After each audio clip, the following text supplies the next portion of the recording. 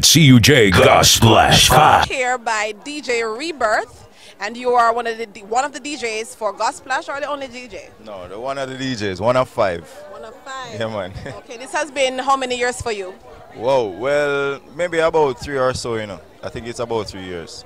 If my memory serves me correct, yeah, three years. So, what propels you, or what what encourages you to keep coming back?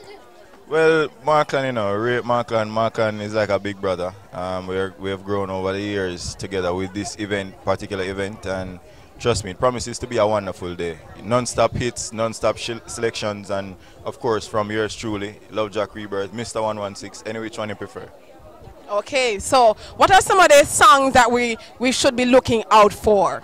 Well, definitely we have to pay homage, you know, to to um, the late Denise, Wright, Because you know, she was a former member um, of Love 101 FM. So I will give you um, a few hits from Denise. Um, Proddy, definitely Proddy will be in the mix. Gonna give you a little bit of Tye Tribbett, and I'm gonna also give you some contemporary gospel hits um, from the Billboard chart, so you can listen out for that one.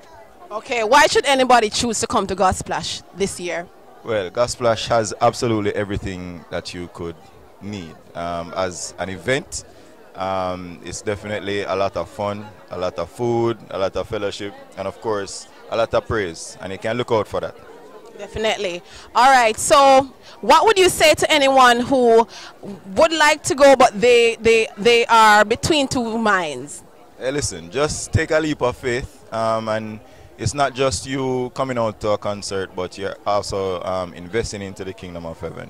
Um, Gospel, um, Markland is a Christian, and Gosplash is a is a God-favored event, and you will be contributing to your own well-being as well. Because when you come out to this event, you'll be edifying yourself, and you can meet persons along the way that can share their experiences as you continue to fellowship at the event. So you need to come out. Just invest. Okay, do you think that events like Gosplash receives uh, a good amount of support from the corporate of the corporate world? Well, as you say that, I'd like to, um, on behalf of the team, just thank Corporate Jamaica for trusting Action Entertainment and trusting um, this team of individuals to really represent for them.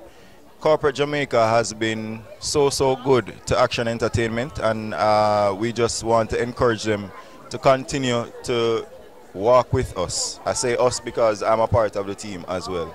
And we just encourage Corporate Jamaica to continue. Those who have not yet um, secured their booth spaces, we invite them to come out and you know um, support the event. Uh, make your reservations. You can go to Gosplash JA on Facebook, and you just you can contact RJR or Love 101 FM, whichever.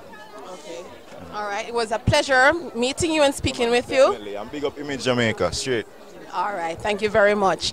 All right. That was DJ Rebirth. I am Renee Moore, aka Renee Victory, and I've joined.